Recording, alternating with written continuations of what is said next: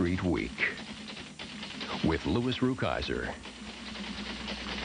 is made possible by the Corporation for Public Broadcasting and by the financial support of viewers like you. By the travelers, nearly 40 million Americans benefit from our insurance, investment services, and managed health care. The travelers. And by MFS. MFS helping mutual fund and institutional investors achieve their financial goals since 1924 and by Prudential Securities. Rock solid market-wise. Prudential Securities celebrating 10 years on television with Wall Street Week with Louis Rukeyser. Produced Friday, July 24. Guest host is Frank Cappiello. Our panelists are Eddie Brown, Mary Farrell, and William Gross. Tonight's special guest is Alan J. Folkman, Portfolio Manager, Columbia Special Fund. Good evening. I'm Frank Cappiello. Louis Rukeyser is on vacation, so I'll be your host tonight. Welcome back. Folks, I'm going to make you a promise. I know, I know. You've been hearing promises all year, and frankly, you're sick of them. But tonight is going to be different. I, Frank Cappiello, being of sound mind and body, but don't ask my wife, promise that not once will I mention the word. Read my lips. E-L-E-C-T-I-O-N. Yes, election. You've heard it here first. Besides, there are more interesting things going on this week, such as the Olympics, which start today. Forgetting the obvious superstars for a moment, it'll be nice to see your average, everyday American competing for nothing more than the love of the game, with a chance to put a medal around his or her neck. Take Michael Plumb, 52 years old, and in his eighth Olympics. Or Travis West, who just four years ago was in a coma that seemed irreversible. And today, he's in Barcelona. They both have won gold medals in my book. Unfortunately, the economic news didn't produce a lot of medal winners this week, but we'll give out a few. First, give a gold to durable goods orders, which pole vaulted in June to their highest level in 10 months and also mortgage rates, dropping to 8% and lower in some cities. And a silver goes to steel imports. Although they fell in May, they're still above last year's levels. Finally, a bronze goes to Alan Greenspan, who predicted that the economy will pick up, but just couldn't say in which century. And our non-metal performers, banks and savings institutions whose deposit rates continue to nosedive, the federal budget, although showing a surplus in June, is on track for a record deficit. The California banks, after cashing $1 billion worth of IOUs from the state, said no more. And the corporate controllers, who reported that only 17% of their companies expect to hire over the next six months. We tonight will talk with a man who gets big results by thinking small. But first, let's check out the wrestling done on Wall Street in a week just past. The Dow Jones Industrial Average joined the other world markets as stocks tumbled earlier in the week amid investors' worries about a plunging dollar and other global problems. The Dow eked out small gains on Tuesday and Thursday, but fell almost 46 points for the week to close at 3285.71. And the broader markets followed suit, with the New York Stock Exchange, the S&P 500, and NASDAQ falling after three weeks of gains. The week's turmoil was enough to unnerve one of our elves, Stan Weinstein. He changed his stance from neutral to bearish, putting the reading at neutral, its first change in seven weeks. The dollar rebounded to post gains against all major currencies, too. But gold is shining, up five straight weeks, as well as T-bonds, which reached this week the highest level of this year. And one bit of news, the average stockbroker in the nation pocketed over $98,000 last year, a new compensation record. These guys can buy their own gold medals. Mary Farrell, what's it going to take to get this market moving up? I think once again the crucial issue is earnings. You know, first quarter we had some pleasant surprises as the economy surprised us. Second quarter the economy's disappointed. It didn't maintain that strength of the first quarter and the second quarter earnings are coming in once again disappointing. So I think we're going to have to see better evidence that this recovery is going to continue and bring corporate earnings along with it. Uh, is there a chance that we're going to be disappointed and that uh, the earnings won't come through and then the market you know, cascades downward, say to 31, 30, 33,000? I think there is a chance that there'll be disappointment across the cyclical range. A lot of people have some high expectations for the cyclical companies because they usually do get those big earnings spurts coming out of a recession. I think here with the very slow growth, and we'd expect better growth in the third and fourth quarter, but not robust growth. Mm -hmm. So I think what you'll see is, is the, the interest in the cyclicals um, unwinding somewhat and shifting back to the growth stocks that can show good gains. Bill Gross, uh, the interest rate trend has been remarkable for the past really two years. Uh, are we at the bottom? I mean, can you see treasuries now, 30-year uh, treasuries at 7 instead of 7 and 5 eighths where they ended this week? Well, you know, Frank, I think we're at the bottom for uh, short-term interest rates for anything between six months and perhaps five or six years. The one remaining sector uh, that has value in the marketplace in terms of the yield curve is the long treasury bond that you mentioned, currently at 7.5%. Now there's a bond that uh, basically is yielding 4 to 5% more than inflation, and I think there's still some room for long-term rates to come down. But on the short side, we've basically reached bottom. Well, on the long side, isn't it true that the reason why these long rates have persisted in staying up is because the money people the institutional investors are really saying we want to be paid for expected future inflation. We're worried about inflation. And until we see something that inflation won't be a problem in the, past, in the next couple of years, we're opting out. Well, I think that's part of the problem, but of course inflation has behaved itself and is down in the 2.5 to 3% range. The other reason has to do with foreign interest rates. Interest rates in Germany and France and England are in the 9 and 10% area on the short-term side and in 8 to 9% range on the long-term side. And those rates act as a magnet to U.S. interest rates. It draws money from the U.S. over to Europe. When those rates come down, when Germany lowers its key interest rates, and I think that will happen later in the year, then U.S. long rates can finally come down to the 7 and perhaps as low as the 6.5% range. Great. Eddie Brown, uh, one of the more remarkable things that happened this week is gold. Gold is up now for the fifth week in a row. Um, gold usually has a message when it moves up like that. Is there a message here? Is it just a, a normal reaction? I don't really follow that market very closely, Frank. I think um, gold, when people are concerned um, about foreign issues, it's kind of a haven, or if they're concerned about maybe inflation heating up. And um, I don't really know of a good reason why it would be moving. Well, what about the stock market? Are you investing now? Are you putting money into the market? You know, there's the argument of whether the market is overpriced, uh, underpriced, and I think uh, I come down on the side that the market is not overpriced. And the reason is, uh, if you look at earnings estimates for next year, it's selling at maybe 15 to 16 times next year's earnings. The yield is fairly low at around 3%, but that's okay, you know, in the context of other low rates. So I come down that the market is not overpriced, and um, you get into the argument of cyclical stocks or companies that move with the economy have been doing very well. Growth stocks have not been doing very well. But there are many exceptions. If you look at companies like Walmart, Home Depot, Office Depot, what they have in common is that they have not disappointed.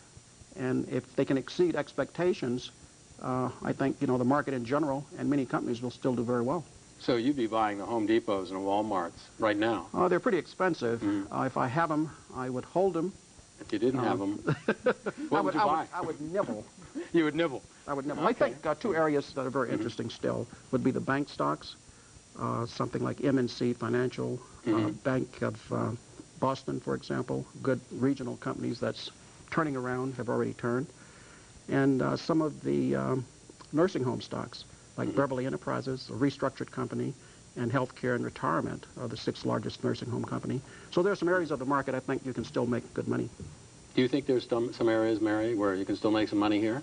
Absolutely, and again, I, I'd go back to some of the growth stocks that have, as, as Eddie said, been beaten down in the first half. It's put them at nice prices, and it's a good opportunity to, to get a growth that's twice what the market's going to show.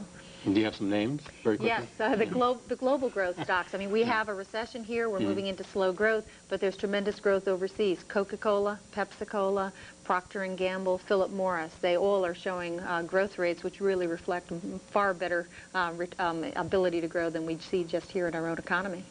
Uh, Bill Gross, it's unfair to ask you about stocks, but how about international bonds? Are there any favorites that you would have, countries? Oh, I, I, think the markets in Germany and France, uh, England as well, are, are uh, soon to, uh, to appreciate in price and interest rates coming down very quickly. There are a number of uh, global funds um, on the New York Stock Exchange, closed-end funds which the investor can participate in, so I'd suggest some of those. Okay, all righty. It's time, time now for our panelists to jumpstart our viewers on the road to financial success. So we'll start with you, Mary Farrell. A lot of individual investors have to eventually make a difficult choice, such as when to start seeking professional financial advice. Sol Weiss of Maspeth, New York, wonders just that and would also appreciate any other suggestions you might have on the subject. Okay. I think when seeking professional advice, sooner rather than later is what you should do. Uh, when you're looking ahead to funding education or retirement, the sooner you start, the easier it is and more effective. Also for tax and estate planning, you can save substantial amounts of money by getting started. The second half is much more difficult. Whom do you choose? And I think there I'd say really do your homework. Seek a, uh, trusted recommendations, interview whoever you're interested in, make sure they understand your goals, make sure they listen to you and they're willing to work with you uh, so that you feel the confidence. Professional advice can save you from a lot of the pitfalls, but also uh, reap better rewards. Okay. Bill Gross, Gary Kindler of Minneapolis, Minnesota is another individual investor with a question concerning issues of new stocks. He writes, I've read that before they are offered to the general public, they are offered to the brokerage houses' preferred clients and institutional clients. Hmm. How can I, as an individual investor, gain access to these new issues before they are second-hand issues? Now, let's tell the truth, Bill. All right, Frank. As you know, it's a, it's a jungle out there when it comes to initial public offerings and their distribution. Uh, the bigger lions get the first pieces of meat, so to speak. Uh, but there are several things that can be done with uh, the small investor. First of all, you can get a list of the initial public offerings in a daily newspaper or from your broker himself and simply call and call and call until he's tired of you calling. Wear him down, so to speak. Uh, then if you can't beat them, uh, perhaps you should join them. And I'm talking about uh, perhaps buying into a mutual fund that does participate substantially in initial public offerings. They would be the, the high-tech types of uh, mutual funds that buy those types of issues. So two things to do. Good. Okay. Ed Brown, how would you respond to Nancy Goldman of Chevy Chase, Maryland, who writes as follows? For many years, I've noticed that all of my eyeliner pencils and lipstick liner pencils of all shades and prices, and all cosmetic companies, whether French, Italian, Japanese, British, or American, bear an imprint stating made in West Germany, which I presume will be updated to made in the Federal Republic of Germany. I believe I can safely guess that these items are all manufactured by one company which appears to have cornered the world's market in cosmetic liners. Can someone tell me the name of this company and how I can get in on this great deal? tell me too. Okay. Uh, I don't use the products. Uh, I don't. I don't think it's quite universal, however. But um, there are two companies in West Germany that's in the business. One is called Schwan Stabilo, S-T-A-B-I-L-L-O. The other is called Faber Castell, However, they're both private companies, so she can't get in on the deal. Okay. But um, she has the best approach to finding good investment ideas, and that is as a user of a product, um, try to find out. Exactly. Okay. Now, if you'd like to change the makeup of your portfolio and line your billfold with some profits, don't change your face. Pucker up and change the face of your broker instead. You can start by penciling in your money questions to us here at Wall Street Week with Louis Rukeyser, Owings Mills, Maryland, 21117. That's Wall Street Week with Louis Rukeyser, Owings Mills, Maryland, 21117. Now, before we meet tonight's special guest, let's take a look at the three investment strategies he uses that have made him one of the top portfolio managers of the past five years, as we see how special it is to be small. Our guest invests over half of his portfolio in long-term growth stocks. They are small and medium-sized companies who have shown strong industry leadership have low debt with high equity, and small institutional ownership. He also likes companies where management owns lots of stock. With the other half of the fund, he puts 45% in market-responsive companies. These are shorter-term investments of different industrial sectors that are price-sensitive. They may also be cyclicals, meaning whichever direction the market takes, they follow. And lastly, 1% goes towards special situations. These companies are turnarounds. They may have been involved in takeovers, mergers, buyouts, or restructurings.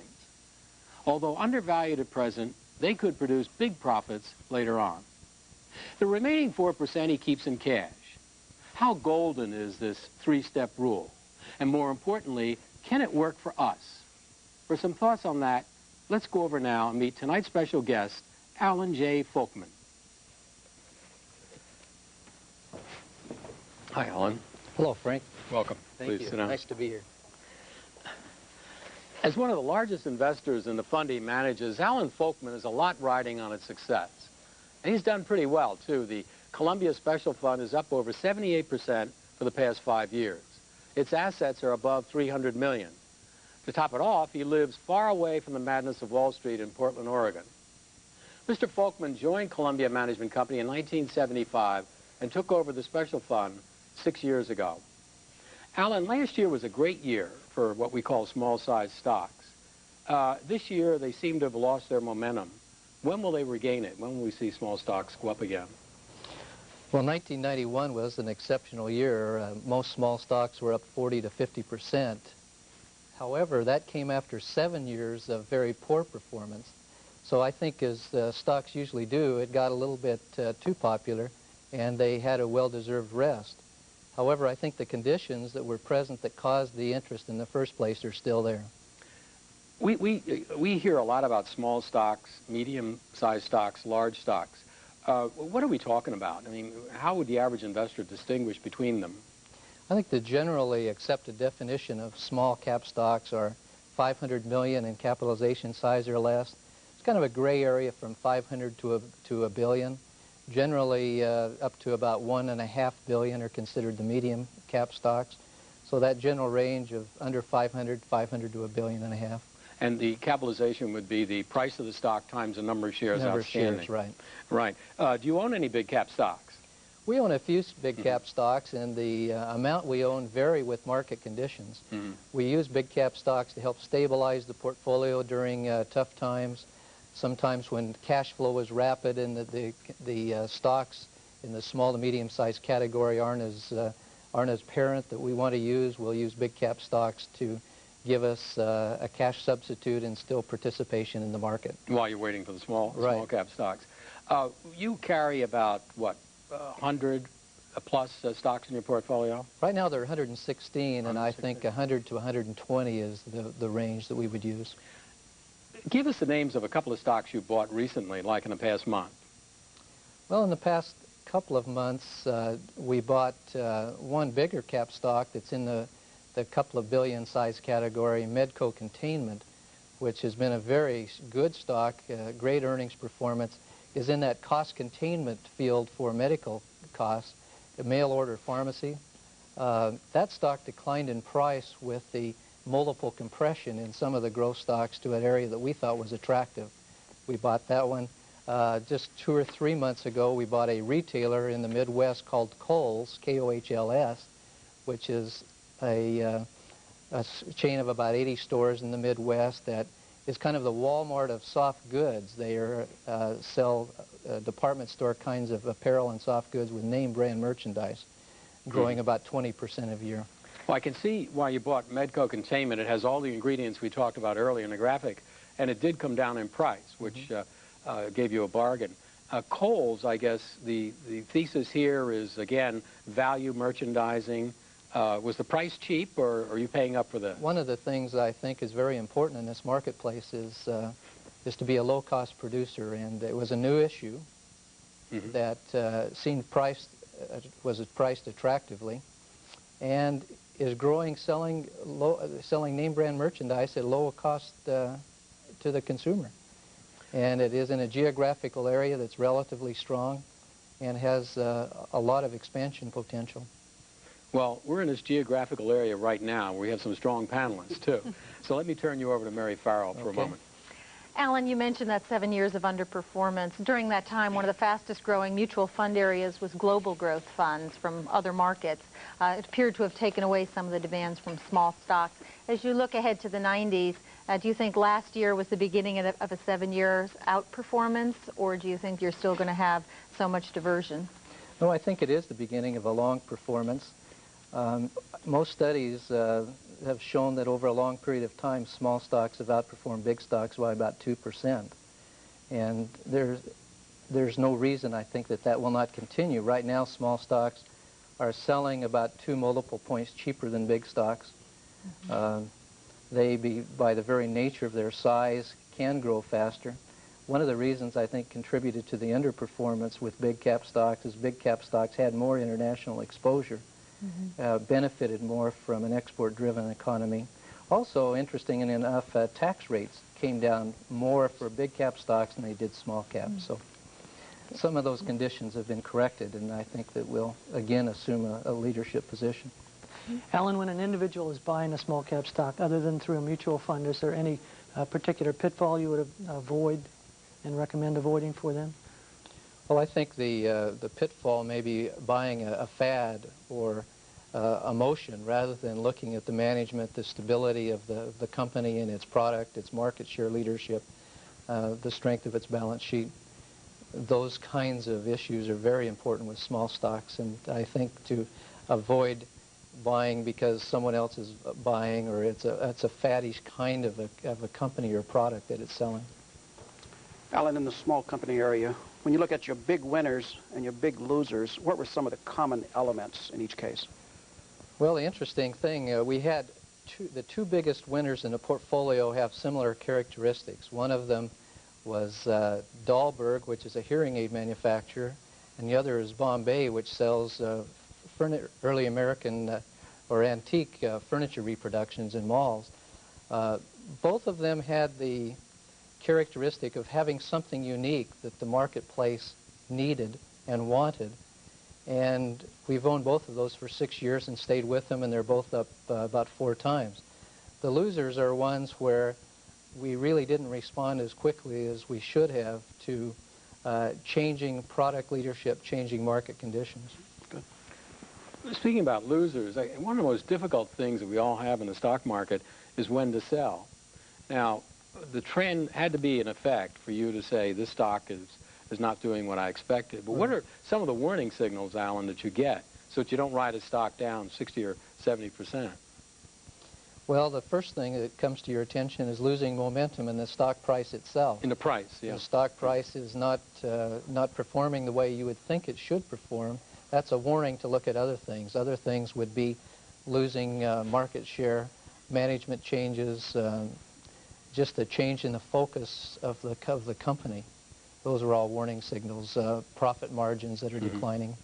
You don't think it's a disadvantage to be living 3,000 miles from Wall Street in Portland, Oregon? No, we get a, get asked that question frequently, and we Uh-huh. think that it's really somewhat of an advantage in that it gets you further away from this uh, forest where there's a lot of emotion and uh, and following of, of others involved to give us a little viewpoint. Plus, another important factor is it really gives us a chance to attract very capable people who want the the uh, living environment that Portland, Oregon offers them. Uh, you have six children. Uh, all of your money is invested in, in, the, in your fund. Um, isn't that worrisome? Don't you uh, give that a lot of thought about such concentration? Well, I have I have two focuses to my own money. Uh-huh. One is half of it's in uh, U.S. Treasury bonds, Uh-huh. And the other half's in Columbia Special Fund. So I have the Oh, safety, you're a little and, tricky. safety and stability of the uh, the Uh-huh. treasuries, and then the market long-term growth potential of the special fund. When you get a little, uh, when you get bullish, do you lower the treasuries, or do you always keep that 50-50? No, I've uh, kept that pretty Oh, uh, pretty close, right? Alan, a lot of people look at, at uh, portfolio managers and they say, gee, I'd like to be a portfolio manager. Uh, what does it take to be a portfolio manager? How would a young man or woman starting out, just getting out of school, uh, march that path upward to portfolio management position? Unfortunately, it's a it's a fairly tough field to enter. But oh so profitable. Once you're there, once you're there, there's a lot of uh, a lot of mobility to Uh-huh. move around. But the Uh-huh. I would say the entry point, uh, first of all, the education is important, and then uh, the entry point for most people are with uh, banks who might train uh, uh, analysts, usually in research, and uh, insurance companies, big mutual fund complexes. Usually, most people, I think, get experience as an analyst and then gradually work in uh, a research analyst and then work into the portfolio management field. Do you have any potential portfolio managers in your family? I've got one. My oldest son wants to be uh, do what I do right now. He's a senior in college. Wonderful. Okay. I hate to interrupt, but our time is up, and I want to thank our guests, Alan Folkman, and our panelists uh, for joining us tonight. And I hope you'll be back with us again next week when Louis Rukeyser returns, and his guest will be a technical market analyst from St. Louis. He's Alfred Goldman of A.G. Edwards, and one of the nation's leading elves. He'll share his views on whether this cool-down market can get the fires burning again. It should be a blast. Meanwhile, this has been Wall Street Week with Louis Rukeyser. I'm Frank Cappiello. Good night and good luck. Wall Street Week with Louis Rukeyser has been made possible by the Corporation for Public Broadcasting and by the financial support of viewers like you. By the Travelers, providing American business with insurance, investment services, and managed health care. The Travelers. And by MFS. MFS helping mutual fund and institutional investors achieve their financial goals since 1924 and by Prudential Securities, rock solid market-wise. Prudential Securities, celebrating 10 years on television with Wall Street Week with Louis Rukeyser. For a printed transcript of this program, send $5 to Transcripts. Wall Street Week with Louis Rukeyser, Owings Mills, Maryland, 21117. Transcripts are also available to subscribers of the Dow Jones News Retrieval Service.